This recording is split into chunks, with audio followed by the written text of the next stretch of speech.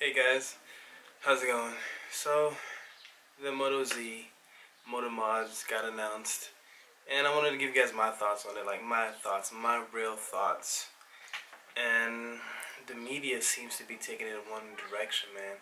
Whenever news comes out, something related to Motorola, it seems like they just want to attack and attack and attack.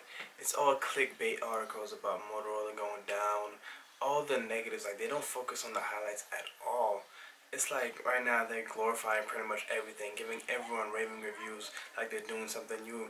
Everyone's pretty much just finally catching up and doing what they should have been doing in the first place, and they still aren't even up to that yet.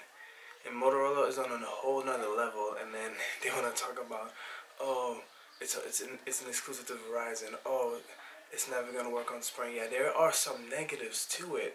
You know, of course, they still don't know pricing. They're already complaining about how Moto Mods are too expensive, and they're all focusing on the negatives. And I just, it's just like tough to see. But you know what?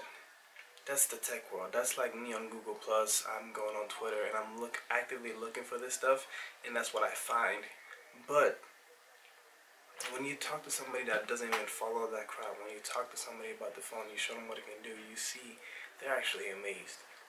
And they should be, and we should be. And we should be focusing on what uh, what a powerful movement that Motorola is doing. And not only that, I mean, did you see what they did? What they've been, what they've been going through? They pretty much started from the beginning, and then they were sold to Google, and then sold to Lenovo. So they went through all of this, and throughout this whole process, they've been moving the industry forward. People are following them. They are like the quiet leaders. They've been changing the, the game. They've been keeping us from being bored. They've been making things interesting just quietly while they go through all of this. And then, even then now, even though like big people are leaving, the vision is still there and they're creating a whole new platform. They created the first snap phone. Like this is like modularity is still in the future gonna be is the future. This phone is semi-modular so it takes the modularity aspect of things but it keeps the beauty of the phones that we know of today because if you look at Project Ara phones they don't look that they're not gonna look beautiful because all the parts need to be removable this is like a step before that like it's something in the middle it's completely balanced. Now you get a beautiful phone that's gonna last you at least two years and then you get these mods these mods that are gonna work for the phones and future phones for up to three years. So that means the next two Moto Z models will have mods that work. So once like let's say when that new the third Moto Z comes out all the mods that are already out will work for that phone. So you get all these accessories you get this giant ecosystem and then yo, they've given the devs everything that they need to create their own, and they have that contest when the best Moto Mod gets, I believe, it five million dollars or a million dollars, I believe. So,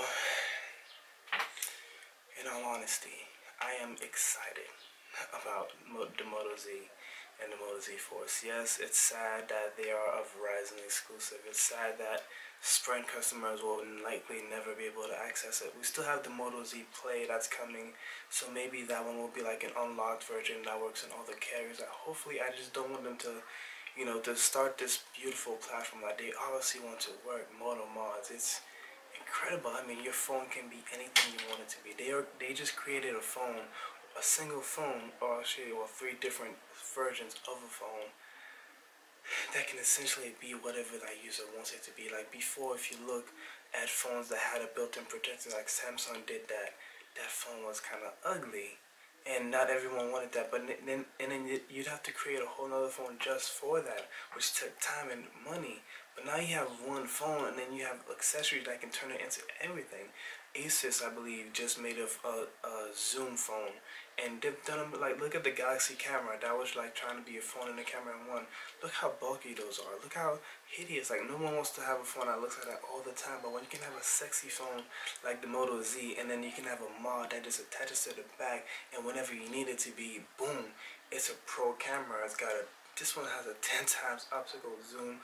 It's the rumored one by Hasselblad. Um, but yeah, it has that. It has the um, bigger flash as well and it's got a whole new sensor, a whole new 16 megapixel sensor. So I mean, you look at that, they've just created a phone that can literally work for anyone. you got the projector, which is just awesome. You have the camera, like I just said. You have these style mods. If you just want to change the look of it without having to like return the phone, you can do like the wood and everything and all these new designs.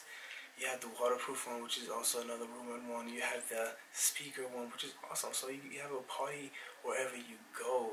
You have the battery packs, which they look good and they they charge up your phone. So like now you don't even need like a power pack anymore. You just like you can carry your phone, you know, sexy, show it off with your style mod, and when you need some battery, take out the style mod, put on the battery mod, and boom, good to go. So you can live your life how you want. You can decide. So whatever lifestyle that you have and so many more to come. Like even that little holographic laser keyboard that we've seen for so many years that some people thought were, was a real thing is almost a reality. Someone is working on a mod to do that and the sky is the limit and like the possibilities are endless. The things that we could do. This is literally Motorola changing And yes, I say Motorola because because Motorola was working on this. Lenovo was trying to do, make this happen before, but they couldn't. But Motorola came in the game. They've been trying to do this forever. They've been listening to us. They've been trying to answer the question. They've been wanting to satisfy everyone. But of course, it's so hard to do that when now you have a phone that has the basic basic requirements that everyone wants.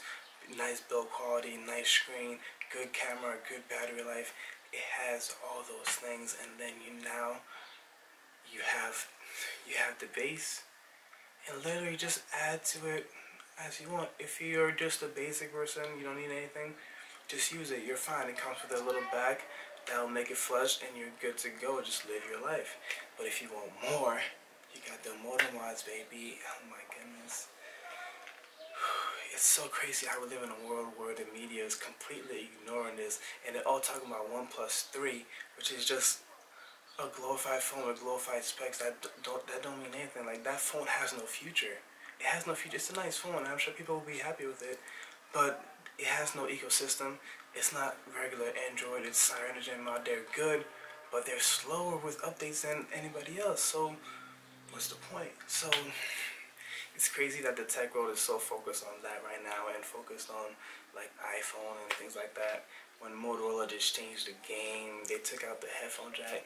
They just really they're beating everyone to their game, man. They're taking and they're doing it so skillfully. They're not even bragging about it. They just they, it's like it's nothing. It's like it's a game to them. It's like yo, we are ten steps ahead of you and these people are scared. And you're gonna see like the Samsung fans and Apple fans, they're gonna try to dismiss this phone. But you know why? It's because they're scared. This is a game changer. And if you look at the polls, GSM Arena just released a poll. The public loves this phone. They're interested, and they should be. We should be, we should be talking about it. So those are my thoughts on the Moto Z. Let me know what your, your thoughts are, and we can talk about them in the comment section below. Hit me up on Google Plus, Instagram, Twitter, and all that. And I'll see you guys on the next one.